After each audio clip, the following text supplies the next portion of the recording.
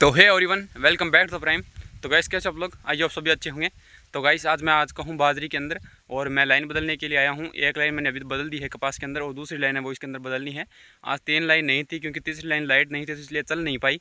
तो आज दो ही लाइन थी तो वो बदलते हैं। फटम के साढ़े पाँच हो चुके हैं तो हमें जल्दी जल्दी बदलना होगा क्योंकि छः या साढ़े छः बजे तक हमें सोई जाना होगा क्योंकि आज वहाँ पर कुछ जागरण वगैरह है। कैसरो जी महाराज का तो वहाँ पे हमको जाना है।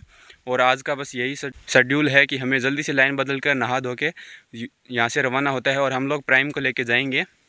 तो चलिए जल्द से जल्द चलते हैं सुई, यहाँ से लगभग दो से तीन किलोमीटर होगा। तो जल्दी जाना है और अभी तो नहाना भी बाकी और एक लाइन भी बदलनी है। और टाइम हमारे पास बहुत कम है तो चलिए फटाफट वीडियो को शुरू करते हैं। बाकी आप लोग वीडियो को इन्जॉय कीजिए। लेट तब तक मैं लाइन बदल देता हूँ। तो चलिए लेट्स बिगेन टू प्राइम तो गई मैं बताता हूँ कि आज का प्लान क्या है। तो गई आज हम लोग जा रहे हैं ये लाइन बदलने के बाद सुई, जो यहाँ से लगभग तीन किलोमीटर दूर है। तो आज वहाँ पे एक जागरण है कैसरू जी महाराज का।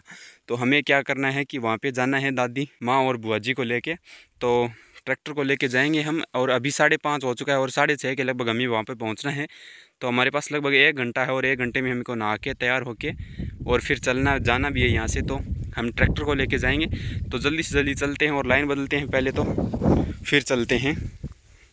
बाकी गई बाजरी का व्यू आप लोग देख सकते हो कि पानी मिलने के बाद काफ़ी अच्छी हो गई है। वहाँ पे पानी नहीं मिला है तो वो थोड़ी फीकी नज़र आ रही है, लेकिन यहाँ पे पानी है तो काफ़ी गहरी नज़र आ रही है। तो चलिए जल्द से जल्द काम अपना करते हैं कंप्लीट और निकलते हैं। तो लो जी गाइस फाइनली लाइन हमने बदल दी है। आज मैं काफ़ी जल्दी लाइन बदल दी, क्योंकि टाइम नहीं था तो भाग भाग के लाइन बदली। बाकी गाइस आज मैंने अपना हेयर कट भी करवा लिया है। तो शायद अब से आपको कुछ अच्छा देखने को मिले। पहले बड़े बाल हो गए थे तो मैंने सोचा चलो इसको कट करवा ही लिया जाए। तो मैंने आज फाइनली अपने हेयर कट भी करवा लिए हैं। बाकी गई सभी टाइम हो गया है। अब हमें जाकर नहाकर तैयार भी होना है। तो चलते हैं जल्दी से। और लाइन मैंने बदल दी है। अब मैं पाइप लेने के लिए वापस आया हूँ, क्योंकि जो पा वाटर सप्लाई मिलती है, वो पाइप वो पाइप वहाँ पे कम पड़ गए हैं। तो इसलिए पाइप ले के चलते हैं।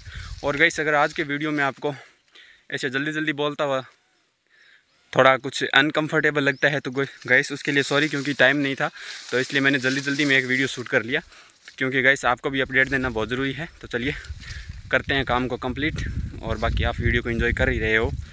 तो लो जी गैस पाइप लेके आ चुके हैं और लाइन हमने पूरी कंप्लीट कर दी है, दोनों लाइन हो गई है कंप्लीट तो हमारा काम भी कंप्लीट हो गया, अब चलते हैं घर पे और तैयार होते हैं और फिर चलेंगे। तो चलिए चलते हैं। और कैसे आज के वीडियो में इतने वीडियो पसंद आती वीडियो को लाइक ज़रूर कर दीजिएगा। अब मिलते हैं नेक्स्ट वीडियो में एक नए एडवेंचर के साथ। तब तक के लिए जय हिंद, जय भारत, जय जय श्री राम।